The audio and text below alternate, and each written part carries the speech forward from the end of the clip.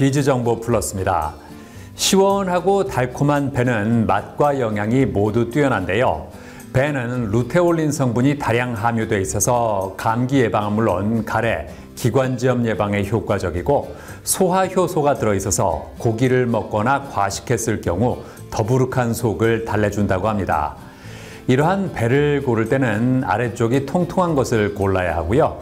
배를 보관할 때는 하나씩 신문지나 비닐에 싸서 냉장 보관하는 것이 좋고 사과와 배를 함께 보관하면 쉽게 무르기 때문에 따로 보관하는 것이 좋다고 하니까 참고하시기 바랍니다. 그럼 오늘 순서 본격적으로 시작합니다.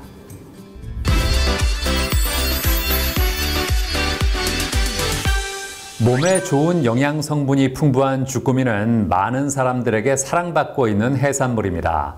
게다가 특유의 쫄깃한 식감과 감칠맛으로 여러 가지 요리에 이용되고 있기도 한데요.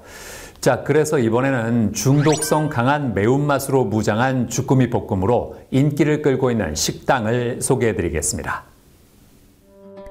휴가철 일상에서 벗어나 여행을 떠나려는 사람들이 많을 텐데요. 국내 여행지 중에서도 광주는 매력적인 도시로 꼽힌다고 합니다. 예향의 본고장답게 맛과 멋이 조화를 이루며 남도의 문화를 이끌어왔다고 해도 과언이 아니기 때문인데요. 광주에는 역사적 유적과 아름다운 자연경관, 그리고 다양한 예술 공연을 비롯해 멋진 건축물과 전시물 등 구경할 곳이 많고요. 맛의 도시, 미양의 도시라고 불릴 정도로 눈과 입이 즐거워지는 맛집이 즐비해 있다고 하는데요. 그 중에서도 광주 광산구에 위치한 한 가게가 여행객들뿐만 아니라 광주 일대의 현지인들에게 사랑받고 있는 맛집이라고 해 찾아가 보았습니다. 이른 점심임에도 불구하고 가게에는 손님들로 가득 차 있는데요. 대체 어떤 음식이길래 이렇게 인기인지 궁금한데요. 많은 사람에게 맛으로 인정받는 그 주인공의 정체는 바로바로 바로 주꾸미 볶음. 너도 나도 주꾸미 볶음에 푹 빠져 이곳에 주꾸미 볶음만 찾는 마니아가 있을 정도라는데요. 입맛 없는 사람들은 여기 와서 밥, 쭈김에다 밥 먹으면 입맛이 살아납니다. 살아나. 매콤하면서도 탱글탱글한 식감으로 손님들의 눈을 번쩍 뜨이게 하는 이곳의 주꾸미 볶음. 특허까지 받았다고 하는데요. 항상 저는 초심이 어, 반찬, 반찬도 저는 매일매일 아침에 일찍 출근을 해서 삶고 데치고 해서 매일매일 그날 음식은 그날 그날 합니다. 그날 그날 해서 항상 변함없는 맛, 싱싱한 맛, 항상 건강한 맛을 유지하고요. 일단 눈으로 먼저 먹고 입으로 먹었을 때, 음, 정말 맛있다. 아, 이 맛이야. 이 집은 언제나 이 맛이야. 그게 제 초심을 잃지 않고 하는 그런 예, 제 철학입니다. 한 번 맛보면 다시 찾게 된다는 이곳의 주꾸미 볶음. 어떻게 만들어지는지 알아봤는데요. 우선 냉동 주꾸미를 찬물에 담가 반나절 동안 해동시킨다고 합니다. 그 후 밀가루를 푼 물에 주꾸미를 넣어 손으로 빡빡 문지르고 빨판에 있는 불순물이 다 나올 때까지 헹군다고 합니다. 그리고 깊은 맛과 함께 부드러우면서 쫄깃한 식감을 위해 주꾸미를 숙성고에 넣어 약 이틀간 숙성시킨다는데요. 그렇다면 맛의 활용 점정, 주꾸미 볶음의 소스는 어떻게 만들까요? 그 시중에서 나와 있는 쭈꾸미 소스를 구입을 해서 저만의 그 어, 노하우가 조금 들어가 있어서 다른 걸 또 소스를 투입을 시킵니다. 그래서 이제 그 제품이 나왔고요. 네, 그걸로 인해서 제가 또 특허를 내게 됐습니다.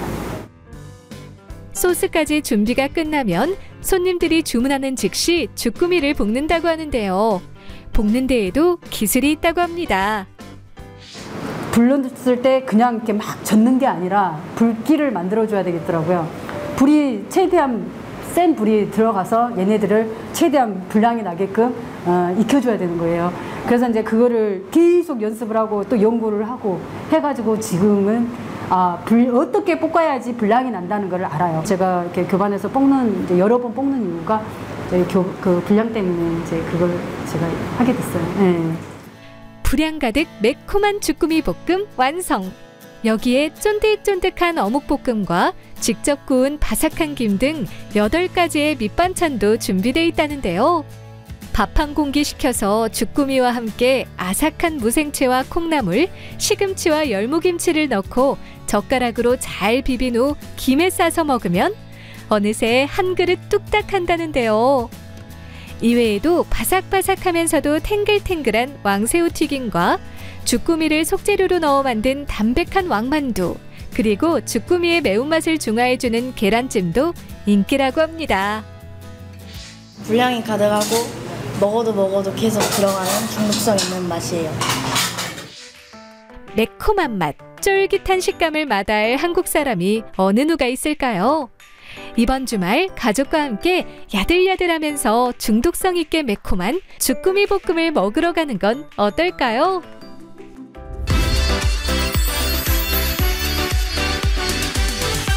나이가 들면 피부에 탄력이 떨어지고 얼굴에 주름이 생기게 마련인데요.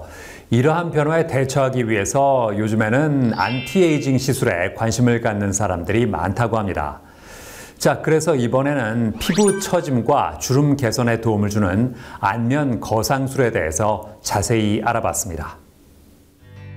세월이 흐르면서 찾아오는 노화를 반기는 사람은 아무도 없을 것입니다. 특히 얼굴은 노화의 징후가 시각적으로 노출되는 부위인데요. 나이가 들며 생기는 피부 처짐이나 팔자주름, 눈가주름으로 고민하는 사람들이 많다고 합니다. 이에 요즘에는 얼굴에 나타나는 노화 증상을 개선하는 데 도움을 주는 안티에이징 수술에 대한 관심이 커지고 있다는데요. 대표적인 안티에이징 수술로는 안면 거상술을 꼽을 수 있다고 합니다. 예전의 내 모습으로 자연스럽게 젊어질 수 있도록 그렇게 해주는 동안 수술이라고 할 수 있습니다. 특히 얼굴에서 이 처진 볼살, 또 여기 심술법, 또 이 처진 목 근육을 잘 당겨서 주름도 개선되고 또 얼굴에 탄력이 예, 다시 생기게 됩니다. 그리고 나이가 들어서 얼굴이 이제 울퉁불퉁하게 되죠. 이런 얼굴 윤곽을 매끈하게 만들면은 인상이 아주 부드러워지는 그런 효과를 기대할 수가 있는 것입니다. 안면 거상술은 노화로 얼굴 라인이 무너지거나 볼처짐이 심해 얼굴 윤곽이 부자연스러운 경우, 그리고 늘어진 턱 밑살이나 목주름으로 고민하는 경우에 고려할 수 있는 수술 방법이라는데요. 사람마다 얼굴의 구조와 노화 진행 속도가 다르기 때문에 수술 전 숙련된 의료진과의 충분한 상담과 정밀한 분석이 필수라고 합니다. 특히 환자가 복용 중인 약물을 확인하고 기존에 다른 병력이 있던 경우 수술 전 검사를 통해 신체적 변화가 있는지 살펴보는 것이 중요하다고 하는데요. 안면거상술 진행 시 근막층 위에 존재하는 얼굴뼈를 연결하는 지지구조인 유지인대를 절제하고 근막을 거상하는 것이 핵심이라고 합니다. 노화의 직접적인 원인인 피부 아래 깊숙이 위치한 근막층을 얼마나 정교하게 박리하고 거상했는지에 따라 환자의 만족도가 좌우될 수 있다는데요. 그렇다면 안면 거상술 진행 후 나타날 수 있는 부작용으로는 어떤 것이 있을까요? 붓이나 멍이 있겠고요. 또 근육이 좀 덜 당겨지고 피부를만 당기게 되면은 흉터가 생긴다든지 혈종이 생긴다든지 또 귀가 이렇게 스트레치라고 그러죠. 귀 변형이 온다든지 또 표정이 좀 부자연스럽다 혹은 심한 경우에는 신경 손상이 있을 수가 있겠습니다. 마음은 이팔 청춘인데 변해가는 피부를 보며 심란한 중년층이 많다는데요. 만약 안면 거상술과 같은 안티에이징 수술을 고려한다면 의료진과의 상담을 통해 자신에게 맞는 방법과 주의사항을 꼭 확인하고 신중하게 진행하길 바랍니다.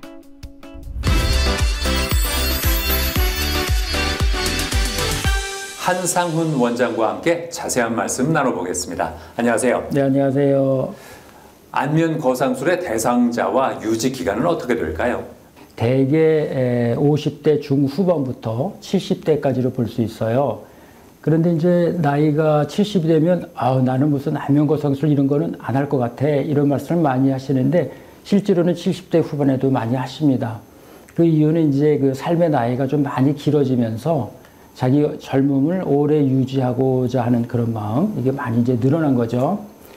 이런 안면 거상술을 하게 되면은 대개 그 작용 기간은 한 10년 정도로 생각을 합니다. 그런데 이것은 아, 내가 앞으로 나이가 먹을 것을 미리 예방하는 것은 아니고요. 일- 이미 처진 조직을 잘 당겨주는 거죠. 그렇기 때문에 우리가 당긴 후에도 아, 그 노화 과정은 서서히 진행이 됩니다. 다만 내가 전에처럼 그렇게 많이 처지거나 그렇지는 않고요. 서서히 처지기 때문에 이전보다는 훨씬 나은 상태로 진행이 된다. 이렇게 생각하시면 되겠습니다. 안면 거상술을 진행할 때 어떤 점을 주의해야 할까요? 첫째는 그 안면 이 피부 속에 있는 그 근육인데요. 이거는 특별한 이름이 있어요. 아, 목에서 시작해서 얼굴로 해서 근막으로 끝나는 이 근육인데요. 이름을 스마스라고 합니다. 이 근육이 왜 중요하냐면 우리가 이렇게 표정 짓는 근육 있잖아요. 이 표정 근육이 다 이 스마스 내로 들어가요. 그렇기 때문에 우리가 이 스마스를 쭉 당기게 되면 여러 가지 표정 짓는 근육이 다 같이 올라갈 수가 있는 거죠. 우리가 피부를 그냥 당겨서 꼬매게 되면 아무리 성형외과 의사가 잘 꼬맸다 하더라도 그것은 반드시 늘어나게 되니까 그것은 좋지 않은 결과를 가져오게 되는 것이죠. 그래서 우리가 수술할 때는 이 근육을 얼마나 잘 박리하느냐, 두 번째 이 피부에 생기는 어, 상처를 얼마나 잘 생기지 않게 하느냐 이 두 가지에 가장 중점을 두고 있습니다.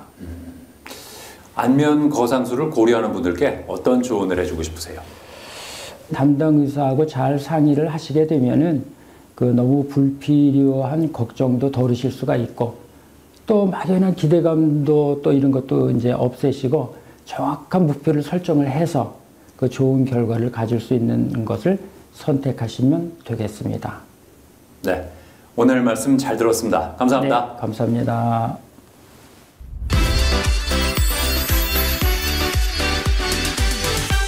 정서 발달은 아이의 건강한 성장 과정에서 매우 중요한 부분입니다.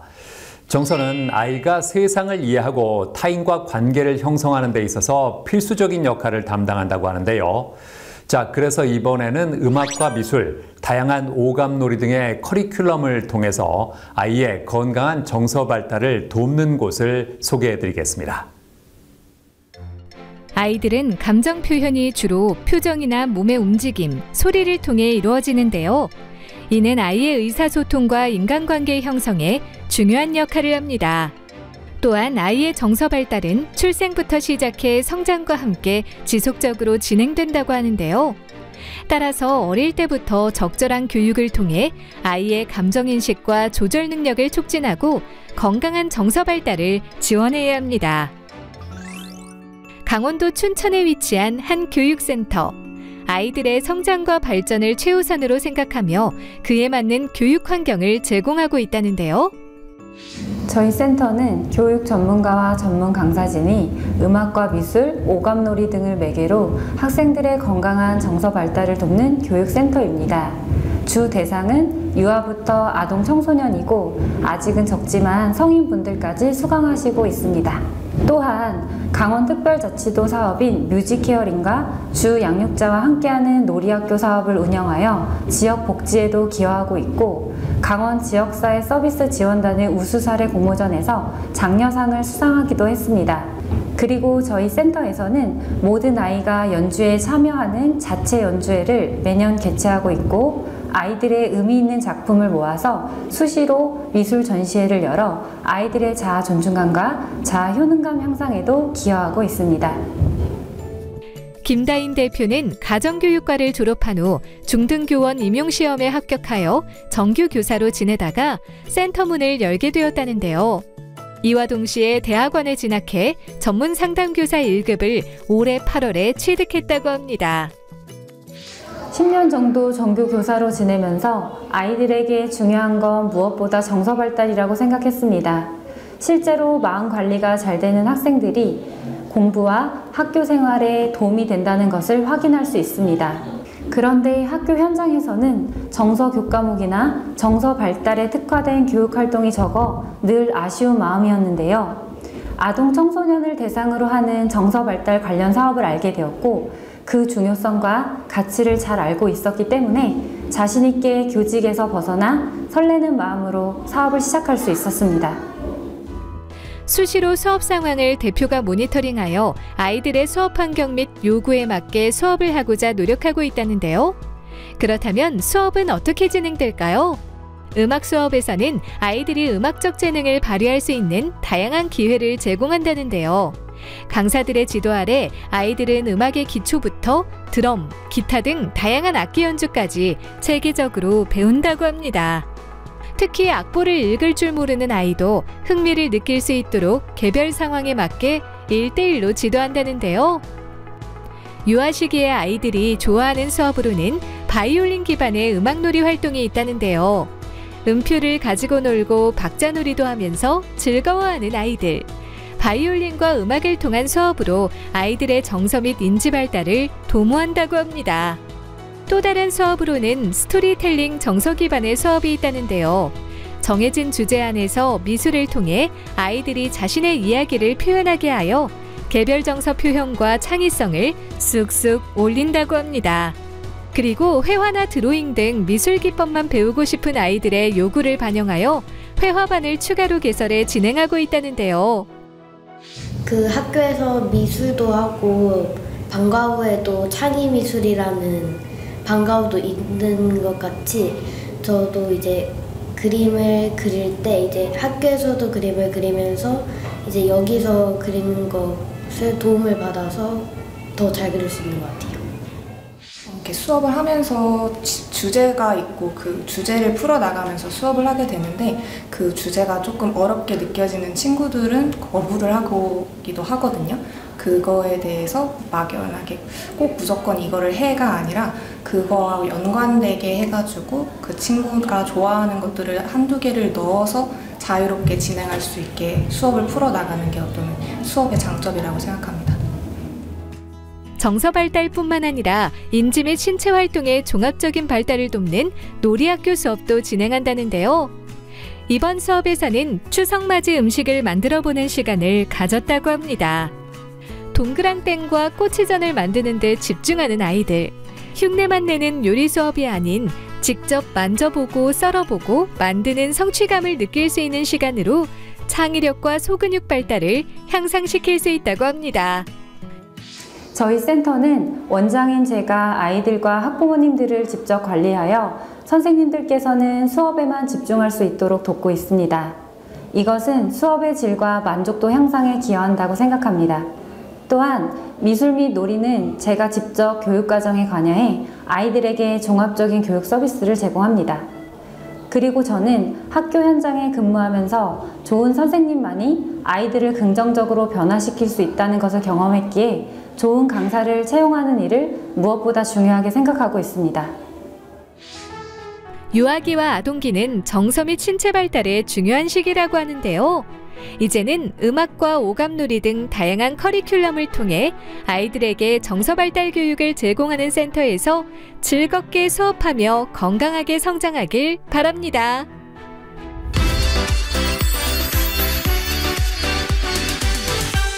아이들에게 어려운 과목을 꼽으라고 하면 수학이라고 답하는 아이들이 많습니다.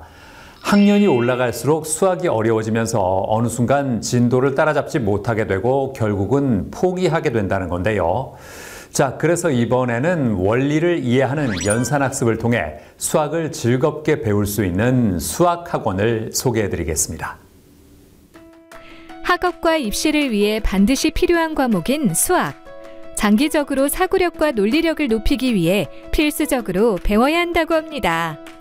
하지만 갈수록 문제의 수준이 높아지면서 수학을 멀리하게 되는 아이들이 적지 않다고 하는데요. 아이들은 발달 단계에 맞춰 지적 능력이 성장하기 때문에 수학 학습 또한 단계별로 차근차근 쌓아나가는 것이 중요하다고 합니다. 서울에 위치한 한 수학학원. 이곳은 수학을 쉽고 재미있게 원리대로 배울 수 있는 특화된 프로그램을 선보이고 있다는데요. 수학을 잘하는 아이들은 기초가 튼튼하다고 합니다. 특히 유아 시기에 연산을 어떻게 하느냐에 따라 수학을 좋아하는 아이가 될 수도 있고 싫어하는 아이가 될 수도 있다는데요. 즉, 초등 수학의 기초는 연산에서 출발하고 이는 아이들의 평생 수학 실력을 판가름할 수 있는 시기라고 합니다. 이에 이곳에서는 두 개의 특허와 10개의 디자인 등록된 자체 교구로 유아들도 수학을 쉽게 접근하여 연산을 할 수 있도록 했다는데요. 아이들이 흔히 갖고 노는 블록으로 수의 개념을 시각화하여 아이들이 블록을 직접 만지고 놀이를 통해 연산을 즐겁고 흥미롭게 배울 수 있다고 합니다. 블록으로 하는 용암 연산이 재밌어요. 그렇다면 초등 시기에는 어떻게 수학을 가르칠까요? 곱셈과 나눗셈, 분수를 동시에 배울 수 있는 자체 교재를 통한 융합 수업으로 아이들의 수학적 사고력을 향상시킨다고 합니다. 그 후 중학생 과정에 방정식 문장제 수업을 진행한다는데요. 문제를 보고 식을 세우는 것뿐만 아니라 식을 보고 문제를 만들어낸다고 합니다. 추상적인 수의 개념을 문자로만 전달하지 않고 블록이라는 교구를 사용해 소수까지 개념을 보여주는 것입니다. 또한 저희 학원은 반복 가득한 문제만 푸는 것이 아니라 끊임없이 말로 연산을 하고 그 원리를 설명해야 한다는 특징이 있습니다. 이렇게 연산의 시각화, 청각화, 발화를 통해 수학 문제를 풀기 때문에 아이들이 거부감 없이 수학을 즐기게 됩니다. 수학은 주요 과목 중 하나지만 학년이 올라가고 심화 내용을 공부할수록 자신감이 떨어지고 수학을 포기하는 아이들도 적지 않다는데요. 연산에 대한 원리 학습을 블록을 통해 쉽고 재미있게 배워나가며 수학에 대한 자신감을 길러보는 건 어떨까요?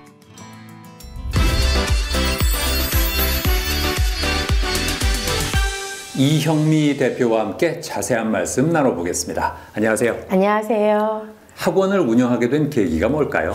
어, 저희 나라에는 유독이 이제 수학 포기자들이 많잖아요. 그러다 보니까 어, 수학을 조금 더 쉽게 할 수 있는 방법은 없을까라고 생각하다가 유아 수학을 제가 이제 특허를 내고 개발하게 되어서 아이들한테 좀 쉽게 수학을 하게끔 해야 되겠다 해서 학원을 설립하게 되었습니다.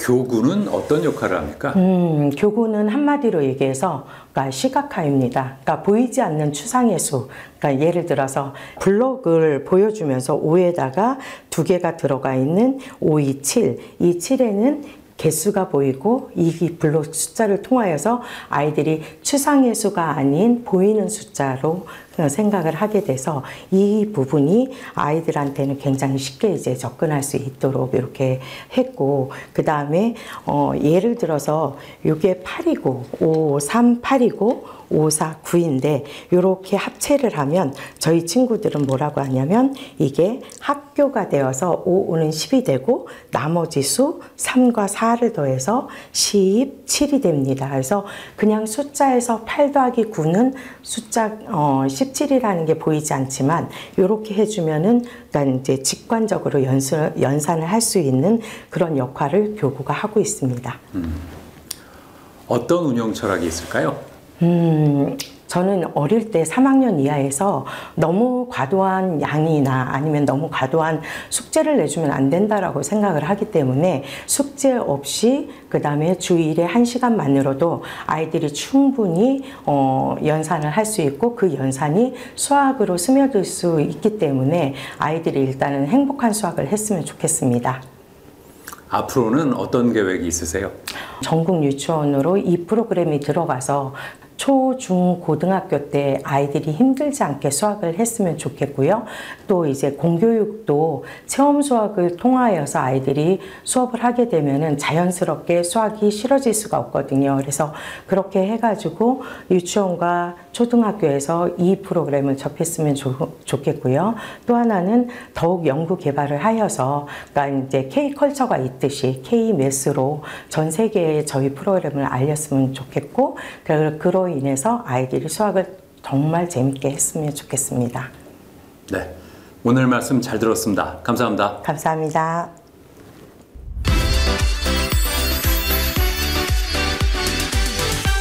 최근 전기차 보급이 확대되면서 전기차 화재도 잇따르고 있습니다.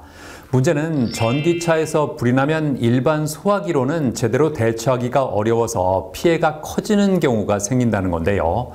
자, 이런 가운데 전기차 화재를 진압할 수 있는 소화 장비를 개발한 곳이 있습니다. 만나보시죠. 전 세계적으로 환경 문제가 대두되는 가운데 화석연료를 이용한 자동차 대신 친환경 에너지를 활용한 전기차가 많은 사람에게 관심받고 있다고 합니다. 전기차는 주행 중 이산화탄소 같은 오염물질을 배출하지 않고 배터리 성능이 뛰어나 한 번 충전으로 긴 거리를 주행할 수 있다는데요. 문제는 전기차 운전자가 늘면서 관련 화재 건수 또한 급증하고 있다는 것입니다. 전기차는 구조적 특성상 패킹된 대용량의 리튬이온 배터리가 차량 하부에 내장돼 있어 화재 발생 시 소화약재가 배터리 내부로 침투하기 어렵고요. 리튬이온 배터리 화재 시 열폭주 현상이 발생할 수 있어 시중에 유통 중인 일반 분말 소화기로는 완벽한 화재 진압이 불가능하다는데요. 이런 가운데 일반 화재부터 리튬이온 배터리 화재까지 모두 진압 가능한 소화약제를 개발해 업계의 시선을 한몸에 받고 있는 회사가 있어 찾아가 보았습니다. 우리 회사는 전 세계적으로 문제가 된 전기차 폭발에 대한 안전성을 책임진다는 사명감을 바탕으로 친환경 소화약제를 개발했습니다. 친환경 소화약제를 통해 많은 재산 피해와 인명 피해를 막고 화석연료 사용으로 인한 지구온난화를 막는 데 앞장서고자 합니다. 이곳은 친환경 소화약제 및 ESS 제조 전문 회사로서 리튬이온 배터리 화재로 걱정이 되는 미래의 에너지원을 안전하게 지키기 위해 소화 장비를 끊임없이 연구, 개발하고 있다는데요. 특히 크고 작은 일상 속 화재를 진화할 수 있는 기술력을 바탕으로 국내 시장뿐만 아니라 미국, 캐나다, 동남아 시장 진출을 준비하고 있다고 합니다. 저희가 개발한 소화약제는 수용성 성분으로 구성된 친환경 소화약제입니다. 최근 문제가 되고 있는 리튬이온 배터리 화재에 특화된 우수한 진화 효과를 가진 제품으로 정통적인 소화기 원리인 화학적 피만 형성을 이용한 화재 진화 기술에 리튬이온 배터리 화재를 생물학적 열차단 기술로 진화하는 소화약제입니다. 이 제품은 카드뮴과 수은, 납 등 6대 중금속이 검출되지 않은 무독성 약재로 친환경 소재율의 특허 기술이 적용됐다고 하는데요. 종이나 섬유, 나무 등 연소 후 재를 남기는 일반 화재부터 휘발유, 오일 등 가연성 액체가 타고 나서 아무것도 남기지 않는 유류 화재, 그리고 가스 화재와 주방 화재는 물론 리튬이온 배터리 화재 진화에도 사용할 수 있다고 합니다. 일반적으로 전기차의 리튬이온 배터리가 손상되면서 발생하는 화재의 경우 내부의 온도가 최대 1000도까지 치솟을 수 있어 무엇보다도 초기 대응이 중요하다는데요. 이곳에서 개발한 제품은 냉각 효과가 뛰어나 뿌리는 즉시 화원에 침투해 리튬이온 배터리의 열 전도를 빠르게 식혀주며 절연 효과를 동반한 코팅막을 생성해 2차 화재를 예방할 수 있다고 합니다. 저희는 전문 소화기 제조업체와 협업하여 저희 소화약자가 들어간 자동차 겸용 소화 장비를 선보였습니다. 콤팩트한 크기와 디자인을 갖추고 원터치 스프레이 소화 방식으로 쉽고 빠르게 화재를 진압할 수 있습니다. 또한 2에서 3m 방사로 누구나 안전하게 사용하실 수 있습니다. 강력한 소화, 방염 성능을 갖췄다는 친환경 소화약제. 정말인지 테스트를 해보았습니다. 우선 100와트시 크기의 완충된 리튬이온 배터리 셀 3개를 준비한 다음 물리적으로 충격을 주어 열폭주를 일으킨 후 소화 장비를 방사해 보았는데요. 화재가 빠르게 진압되는 모습을 확인할 수 있었습니다. 한편 이곳은 친환경 소화약제를 사람들에게 널리 알리기 위해 선진 소방 방제 기술의 고도화를 슬로건으로 2018년부터 매년 개최되는 소방 방제 기술 산업전에 참가했다고 하는데요. 저희 제품은 친환경 소재에 쉽게 사용할 수 있고 디자인도 예뻐서 소비자들의 반응이 상당히 좋습니다. 또한 크기가 작아서 집안이나 차량 또는 캠핑장에 갈때 가방에 소지하기 편해 소비자들의 만족도가 높습니다. 전기차 보급률이 높아진 가운데 이에 따른 화재의 위험성 역시 커지고 있다는데요. 앞으로는 일반 화재뿐만 아니라 전기차의 리튬이온 배터리 화재까지 빠르고 안전하게 진압할 수 있는 친환경 소화약제를 통해 인명 피해, 재산 피해를 줄여나가는 건 어떨까요?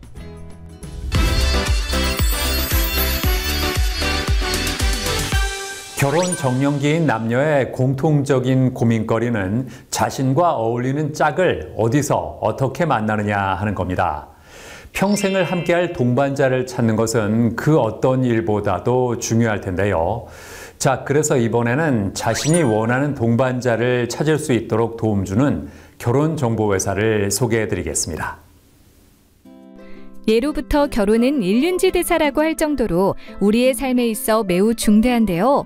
결혼은 전혀 다른 환경과 조건 속에서 살아왔던 남녀가 하나의 가정을 꾸리는 것을 말합니다. 이러한 결혼은 현실적인 부분을 모두 고려해야 할 뿐만 아니라 상대방과의 관계 형성이 필수적이라고 하는데요. 그렇기 때문에 성공적인 결혼을 하는 일은 어렵다고 합니다. 이에 요즘에는 전문적인 도움과 만남의 기회를 얻고자 결혼정보회사를 찾는 사람들이 늘어나고 있다는데요. 서울에 위치한 한 결혼정보회사. 이곳은 1981년에 설립되어 국내 결혼정보회사 중 오래된 역사를 자랑하는 곳으로 상류층, 전문직계층을 위주로 매칭 서비스를 진행하고 있다는데요. 오직 예약제로만 운영되며 철저한 신원인증 절차를 통해 안전한 만남을 주선한다고 합니다. 현재 활동하고 있는 전문직 의사, 변호사, 판사, 검사는 13,000명 정도이고 자산가 회원도 1,800명 정도 가입되어 있습니다. 뿐만 아니라 명문대 출신도 3만 명 정도 현재 매칭 서비스를 이용하고 있습니다. 통상 저희 업계에서 높은 성혼율을 담보하는 조건으로 첫 번째가 우수한 조건을 갖춘 회원, 두 번째가 종사자로 활동 중인 커플 매니저의 수와 역량, 세 번째가 규모라고 합니다. 이러한 인프라가 높은 성혼율을 달성하는 원동력이 되고 있습니다. 이곳에서는 10년 이상 경력의 베테랑 커플 매니저가 고객과의 1대1 상담을 통해 체계적인 맞춤 컨설팅을 진행한다는데요. 현실적인 결혼 가능성에 대한 진단을 거쳐 개인별 최적화된 매칭 상대를 추천해주고 만남이 성사되면 첫 만남부터 성혼까지 지속적인 피드백과 코칭을 제공한다고 합니다. 게다가 이곳은 서울 본사를 비롯해 대구와 부산, 광주, 대전 등 주요 광역시에 설립된 지사의 전국적인 네트워크망을 이용하여 지역에 구애받지 않고 더욱더 폭넓게 고객이 원하는 인연을 찾아볼 수 있다는데요. 여기서 끝이 아니라고 합니다. 매월 다채로운 테마의 프라이빗 파티를 개최하여 새로운 인연을 만날 수 있는 특별한 자리를 마련한다는데요. 비슷한 관심사를 가진 사람들끼리 모여 공감대를 형성하며 즐거운 시간을 보낸다고 합니다. 이렇듯 고객들의 성공적인 결혼을 위해 최선을 다하는 이곳은 대한민국 소비자 선호도 결혼정보 부문에서 6년 연속 수상하고 올해의 우수 브랜드로 5년 연속 수상하며 그간의 노력을 인정받았다는데요. 40년이 넘는 세월 동안 수많은 고객에게 부부의 인연을 이어준 상류층 전문직 결혼정보회사. 앞으로도 대한민국 대표 결혼정보회사로 어깨를 선도하길 기대해 봅니다.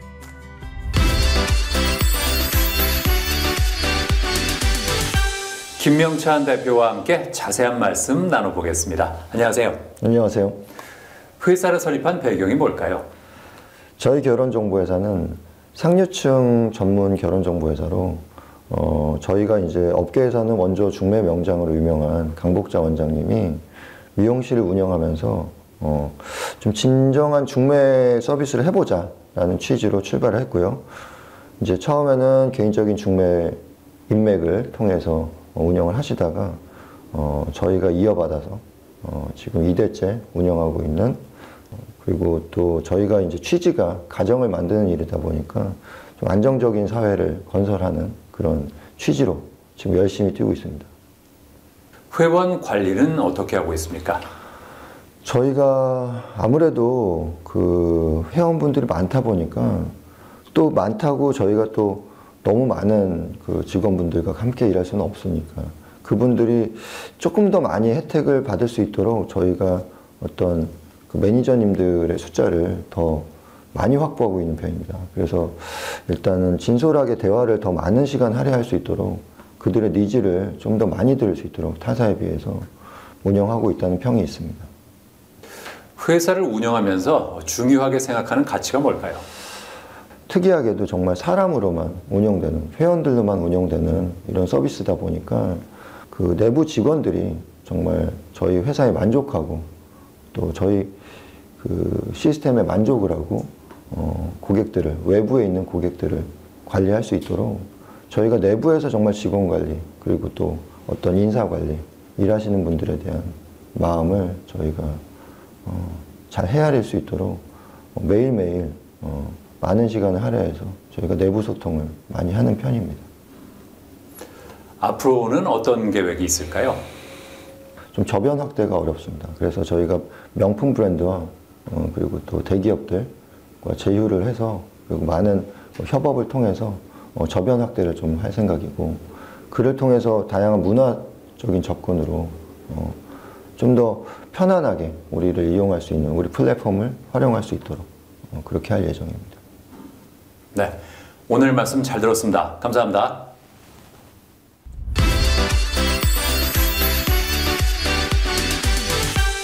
집안일을 도와주는 1등 공신 하면 대부분 청소기를 먼저 떠올릴 텐데요. 제품의 기술력이 갈수록 좋아지면서 소비자의 눈높이도 함께 올라가고 있습니다. 자, 그래서 이번에는 특수 설계된 LED를 통해서 먼지를 두 눈으로 볼 수 있는 무선 청소기를 개발한 곳을 소개해 드리겠습니다. 매일 바쁜 업무로 인해 지친 현대인들에게 가사노동은 부담되는 일일 텐데요. 이렇다 보니 청소나 빨래 등 집안일을 편하게 할 수 있도록 도와주는 가전제품에 대한 관심이 쏟아지고 있다고 합니다. 그중 단연 인기 있는 제품을 꼽자면 무선 청소기를 빼놓을 수 없다는데요. 콘센트가 없어 집안 곳곳을 번거로움 없이 청소할 수 있기 때문이라고 합니다. 이러한 가운데 혁신적인 먼지 스캔 기능으로 청소 시간을 줄여주는 LED 무선 청소기를 개발해 많은 사람의 관심을 사로잡는 곳이 있다는데요. 직접 화재의 현장에 찾아가 보았습니다. 어, 저희 회사는 2021년 9월 혁신적인 기술과 제품으로 생활을 편리하게 만들기 위한 모티브로 창립된 청소기 브랜드입니다. 생활 속에서 접한 난반사 현상으로 먼지가 눈에 잘 드러나 보이는 것을 경험한 후 이를 청소기에 접목하여 제품 개발을 시작하게 되었고 회사를 설립하게 되었습니다. 이곳에서 선보인 청소기는 약 4에서 5m까지 떨어진 반려동물의 털이나 과자 부스러기, 그리고 눈에 잘 보이지 않는 미세먼지까지 직접 눈으로 보이게 하여 효율적으로 청소할 수 있다는데요. 이렇게 청소가 가능한 비결은 이중으로 특수 설계된 LED 덕분이라고 합니다.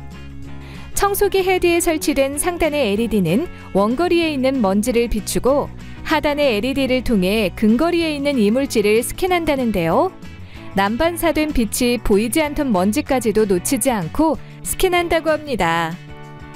먼지를 스캔하는 성능 외에도 H13 등급의 헤파 필터를 포함한 6단계 필터 시스템을 장착해 미세먼지의 약 99.8%가 차단되고요.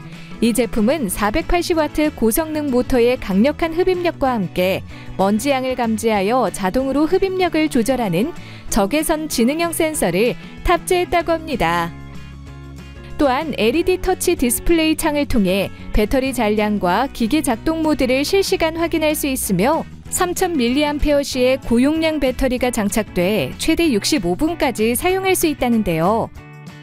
저희 집에도 저 애완 고양이를 키웁니다. 근데 이게 요즘 털이 엄청 많이 빠지거든요. 근데 털이 너무 무엇보다 잘 보여가지고 보면서 청소할 수 있다는 게 큰 장점인 것 같습니다. 너무 좋습니다. 반려동물이나 어린 자녀를 키우는 가정에서는 청결한 환경이 무엇보다도 중요할 텐데요. 눈에 보이지 않는 미세먼지까지 스캔하는 LED 무선 청소기로 효율적으로 청소하며 청소 시간도 단축시켜 보는 건 어떨까요?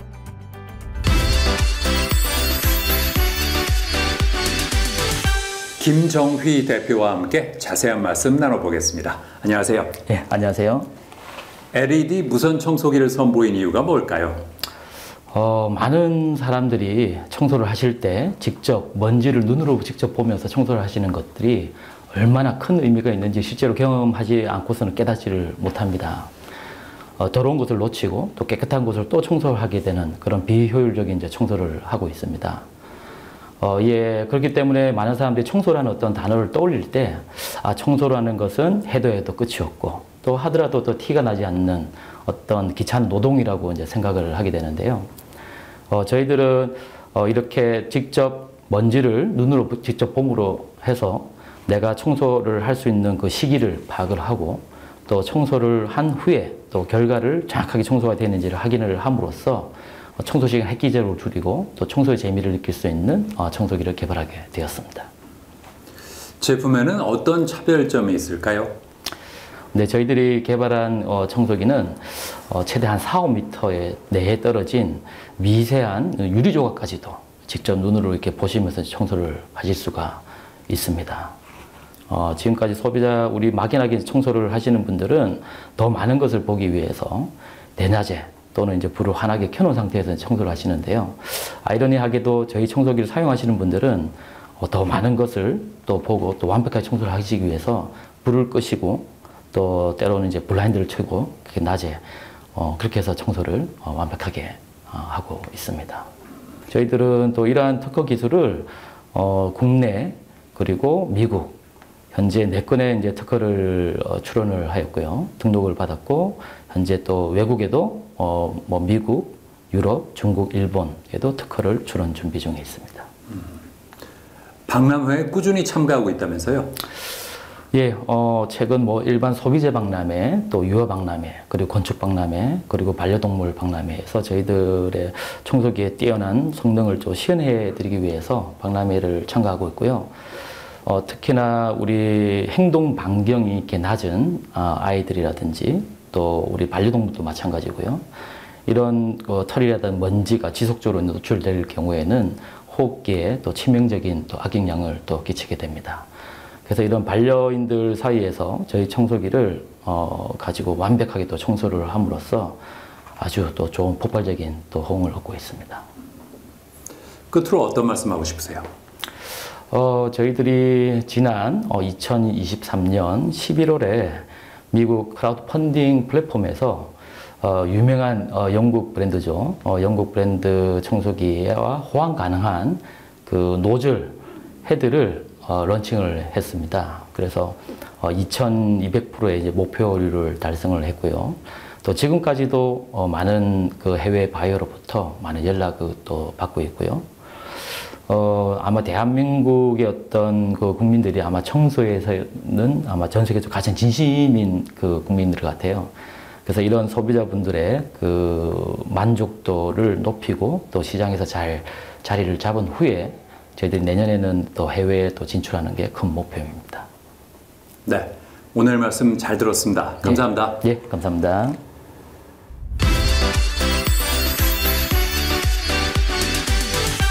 우리 몸을 구성하는 성분 중에 하나인 미네랄이 부족하면 질병에 노출될 위험이 커진다고 하는데요. 자, 그래서 이번에는 미네랄 생성기를 개발해서 건강도 지키고 환경도 지킨다는 김민경 대표와 함께 자세한 말씀 나눠보겠습니다. 안녕하세요. 네, 안녕하세요. 어떤 일을 하고 있을까요? 네, 저희는 국내 청정 지역에서 버려지고 있는 맛있게 먹는 꼬막 알고 계시죠? 그 꼬막 껍데기를 재활용하여서 천연의 미네랄 칼슘볼을 특허내었습니다. 그 칼슘볼을 활용해서 저희 미네랄 생성기에 내장해서 뭐 물만 보면 풍부한 미네랄이 생성이 되는 그런 제품이고요. 이 미네랄을 활용한 생활용품을 제조하는 기업입니다. 사업을 시작하게 된 계기가 뭘까요? 네, 제가 어, 교통사고 삼중 추돌이 있었습니다. 그로 인해서 한 달 동안 병원에 입원하게 되었었는데요. 제가 목이 잘 돌아가지 않아서 조영제 주사를 맞았습니다.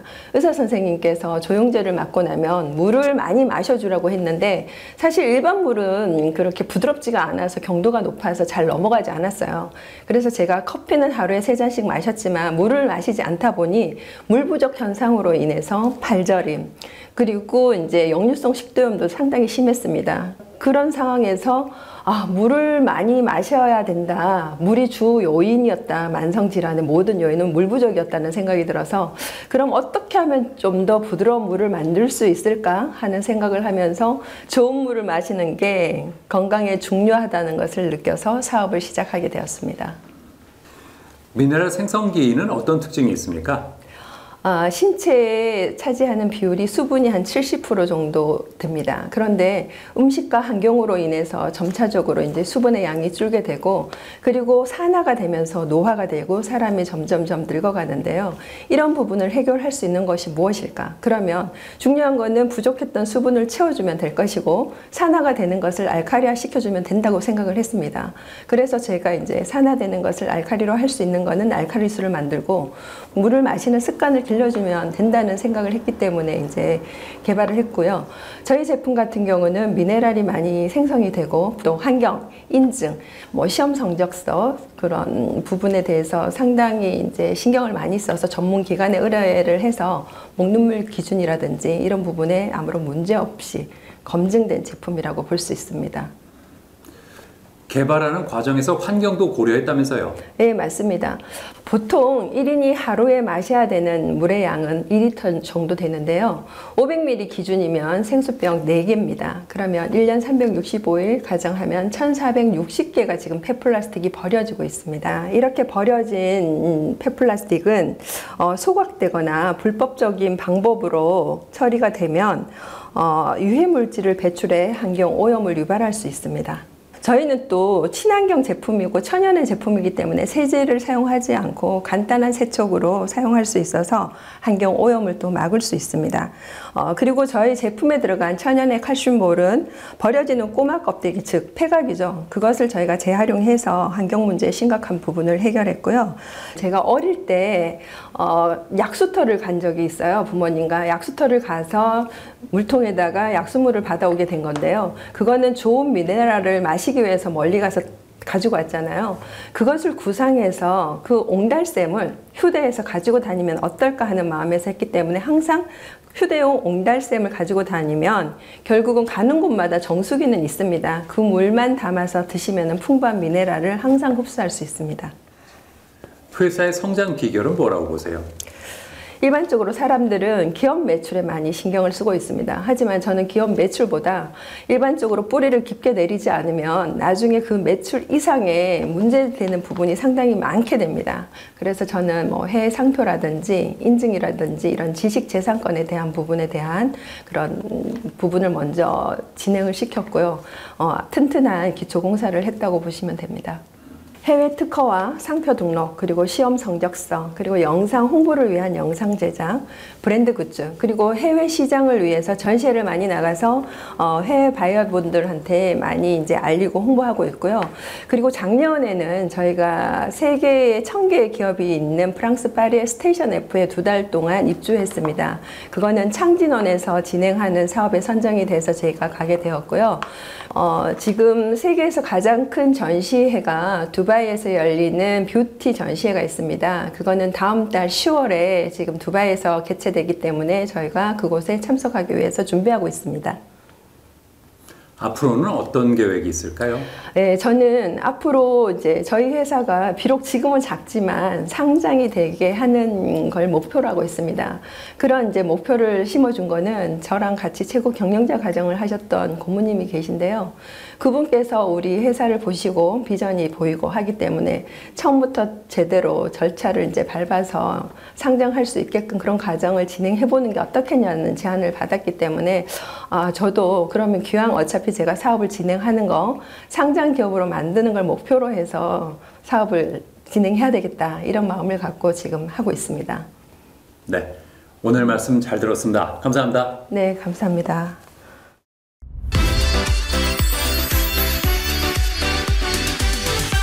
현대인들에게 흔하게 찾아오는 질환 중의 하나가 바로 역류성 식도염인데요. 역류성 식도염의 주요 원인은 잘못된 생활 습관과 서구화된 식습관이라고 합니다. 따라서 과식은 피하고 기름진 음식이나 커피, 술은 자제하는 것이 좋은데요.